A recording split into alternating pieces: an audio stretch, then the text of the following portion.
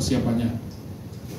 Uh, ya pastinya antusias karena baru beberapa bulan lalu juga kan main di Istora di Indonesia Master dan uh, minggu ini akan bertanding lagi di Istora untuk Indonesia Open yang ya kita kita tahu semua mungkin Indonesia Open adalah salah satu pertandingan terbaik juga lah di dunia dengan penonton yang luar biasa juga dan super seribu juga jadi uh, saya harap dengan pengalaman terakhir bermain di Sora yang puji Tuhan bisa juara saya harap itu bisa menjadi modal yang positif buat saya uh, bertanding di Indonesia Open kali ini.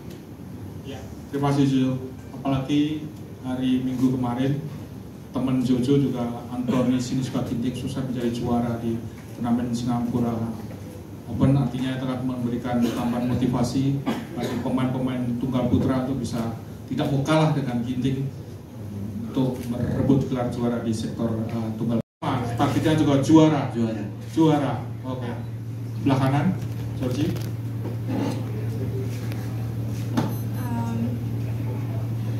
mau memberikan yang terbaik dan mau mikirin per matchnya dulu karena lawannya semuanya susah tapi punya target sendiri sih untuk apa ya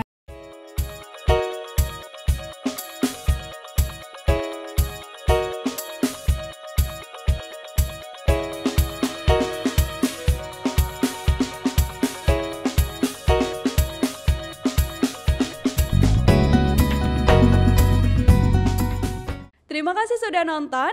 Jangan lupa like, subscribe, dan share ya.